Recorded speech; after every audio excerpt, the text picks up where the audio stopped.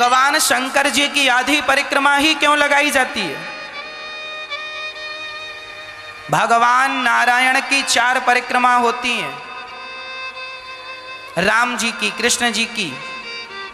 परंतु शंकर जी की कितनी परिक्रमा होती हैं? कितनी? आधी।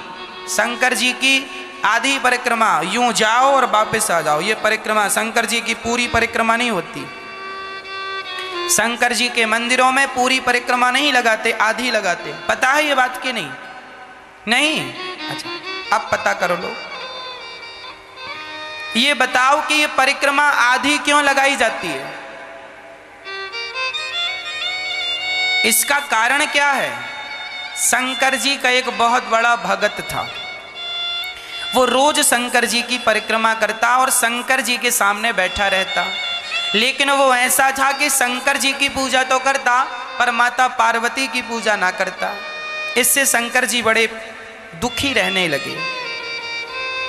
है ना?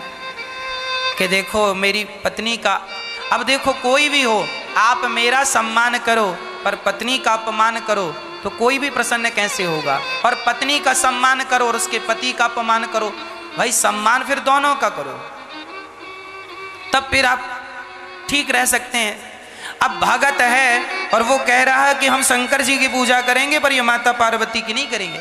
तो वो रोज अब शंकर जी और पार्वती कैलाश में साथ साथ बैठी रहे तो ये क्या करे? शंकर जी की परिक्रमा लगाए तो पार्वती के बीच से, शंकर पार्वती के बीच से निकल जाए।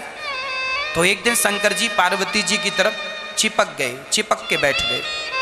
तो इसने क्या किया कि दोनों को पकड़ा और यूँ किया, और बीच से निकल गया, और परिक्रमा लगाई, चला गया। शंकर जी बोलिए ये तो रोज हमें अलग कर देता। तब एक दिन शंकर जी माता पार्वती से और चिपक के बैठ गए, बिल्कुल कस के हाथ बाँध लिया यू। अब लगा परिक्रमा। शंकर जी को लग रहा था कि तुम दोनों की लगा लो। तो शंकर जी बैठ गए हाथ पकड़ के। तो उसने क्या किया, वो भी मायावी था। उसने चीटी का रूप बनाया। और कहीं से जगह मिली तो चीटी बन के शंकर जी के पास से निकल गया, परिक्रमा होगी शंकर जी बोले, ये तो बड़ा चतुर निकला। शंकर जी के तो भक्त है तो रूप तो बदल ही सकता है। शंकर जी बोले, बच्चू, अब तुम्हारा दिमाग नहीं चलेगा। तब शंकर जी ने क्या किया? अर्धनारेश्वर बन गए। तब से शंकर जी अर्धनारेश्वर कहलाए। आधे शंकर जी और आधे अंग में, अब उस सिंहासन में दो नज़र ही नहीं आए। अब एक नज़र आए।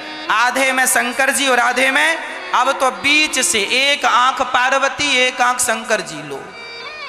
एक तरफ़ की नाक का छेद पार्वती जी का, एक तरफ़ शंकर जी का। पूरा आधा। अब लगा परिक्रमा। अब कहाँ से निकलेगा?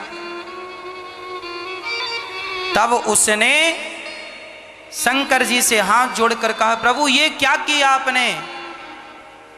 शंकर जी ने कहा, बेटा, जिसे तुम दो समझ रहे थे, हम दो नहीं हैं। हम दिखने में तो दो हैं, पर हम शंकर पार्वती एक ही हैं। दिखने में दो हैं राधा और कृष्ण, ये एक ही हैं। दिखने में दो हैं सीता और राम। पर ये तत्व एक ही है।